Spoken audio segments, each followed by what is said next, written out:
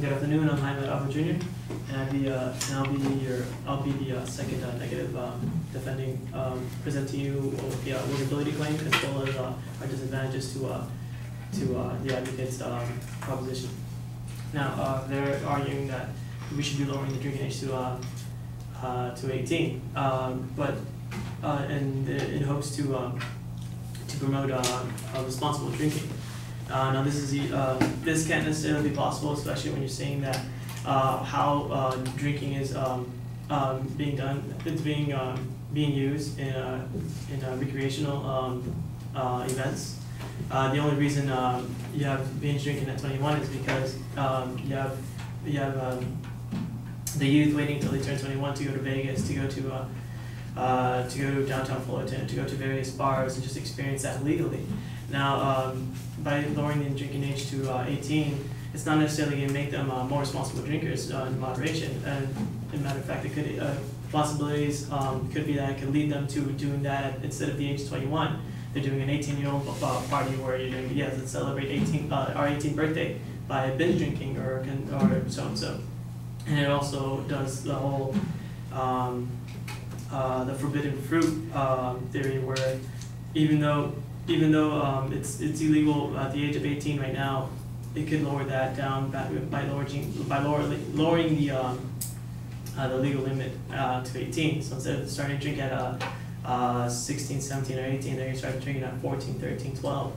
Um, um, and we can see that uh, by lowering the drinking ages to uh, that we can see that lowering the drinking ages um, to 16, 17, or 18 uh, in some European uh, uh, countries is rather inappropriate to um, um, to be adapted here in America, as um, as here at, at, at this age, uh, you're you're bringing um, alcohol and you're introducing alcohol to uh, uh, to the youth when they barely just received their uh, driver's license. Uh, so not only do you have uh, um, you know and as well as an immature audience um, who uh, doesn't know completely um, what you know what responsibilities to take. Uh, you gotta take in uh, you gotta take in uh, you gotta take in effect um, in consideration of uh, you know how much youth drinks right now that is underage. Uh, a survey done by uh, 2011, uh, two, in 2011 um, titled the Youth Risk Behavior Survey, found that in the last 30 days in that high school, 39% uh, uh, of the students had drank some amount of alcohol. Uh, 22% uh, have binge drank. Uh, 8% have uh, either drove after drinking alcohol, and 24 had rode with a driver who had been drinking alcohol. Uh, that just that just goes to show that um, that right now that it's at 21, uh, that, that we're limiting the factors. I mean, still the risks are great, um, but by lowering it down to 18, we're lowering we're we're lowering that forbidden fruit to a younger age.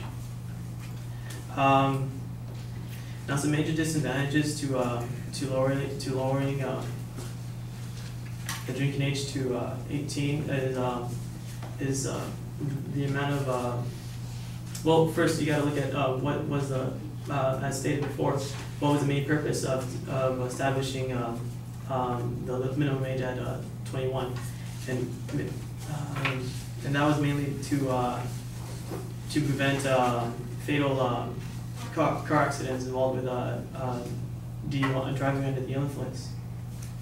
Um, we can see that at an annual average, we have 4.2 million people between the ages of 16 and 20 that have been reported uh, driving under the influence um, or under some illegal um, drug, uh, drug during uh, the past year. And with about 169,000 of these uh, uh, persons, about 4, 4% have reported that they had been arrested and uh, booked for DUI. So that's only what goes reported. That, that doesn't include what's being, what the percentage that makes it home under the influence, swerving from lane to lane.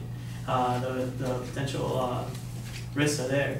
Uh, we got to see as well not only just the, the fatalities that could lead to that, that could be resulted to that, but as well as the costs that, that come to the, the state with, with data here conclus- conclusively showing that, um, I'm sorry, wrong one.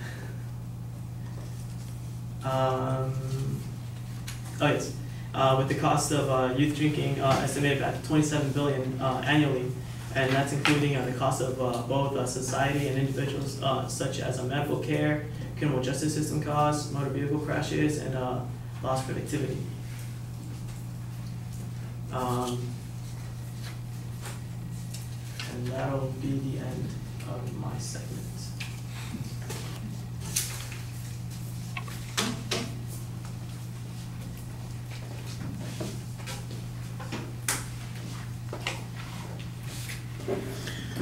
Okay, the negative's up next, and you guys have a minute and thirty seconds of prep time left.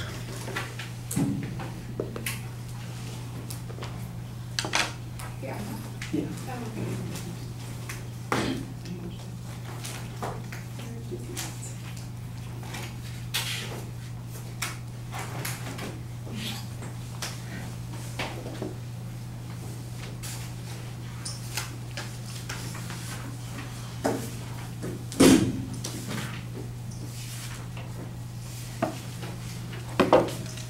Alright, as I mentioned earlier, lowering the drinking age to 18 would be medically irresponsible. This is because